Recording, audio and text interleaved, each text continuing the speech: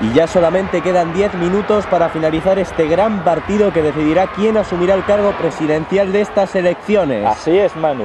Han sido 80 minutos de partido largos e intensos y apenas queda tiempo para que uno de los dos candidatos meta el gol que le dará el puesto de presidente durante los próximos cuatro años. Y ahí podemos ver a la derecha que se muestra preocupada de que en este tiempo no cambie el marcador, que si se mantiene en el actual empate a cero por carencia de actitudes en ambos lados, daría lugar a una transición hacia el anarquismo, opción que desde luego el Partido Conservador no desea que ocurra. Esperen, señoras y señores. El líder conservador ha tomado la posesión de la pelota y se aproxima al campo progresista. Ataja a su contrincante, dispara y ¡Gol! ¡Gol! Primer gol de toda la jornada política que aventaja al candidato derechista. Un gol por encima de la oposición de izquierda. Esto se pone interesante, señores. Ya apenas queda tiempo para que el candidato progresista pueda llegar a adelantar a su contrincante electoral. Ahí se puede ver a todo el equipo izquierdista inquieto y temeroso desde el banquillo. Eso sí, desde luego. Ya no quedan apenas esperanzas para el candidato de camiseta roja de asumir la presidencia.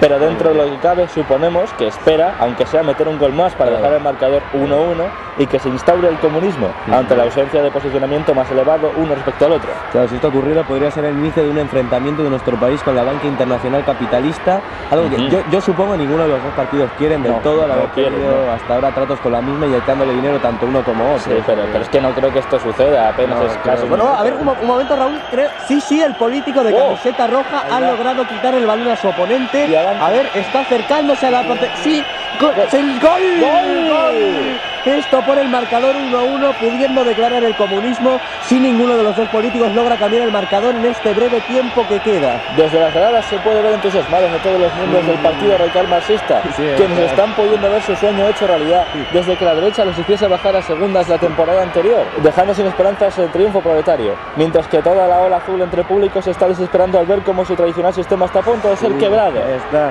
Son instantes intensos, señores. ¿Quién sabe qué puede suceder en estos últimos instantes? Ahí podemos ver al conservador sudando la camiseta por poder marcar el último Mucho, tanto. mucho. Ahí vemos al progresista que se encuentra, yo diría, la defensiva. Parece que no se quiere arriesgar a que le quiten el balón. Se muestra conforme con la situación, aunque bien quisiera poder marcar el último Sí, gol querría, para evitar conflictos con los grandes banqueros capitalistas. ¿no? Eso desde luego. Sí, sí, Hay mucha tensión en el ambiente, señores. ¿Qué pasará? Lo sabremos en breves instantes. Nunca se había respirado tanta emoción política en ningún otro día de elecciones. Nunca, nunca. A ver, ahí podemos ver en pantalla las sedes liberales que se están tirando de los pelos. A la izquierda moderada, conforme, pero tensa por cualquier otro posible cambio en el marcador.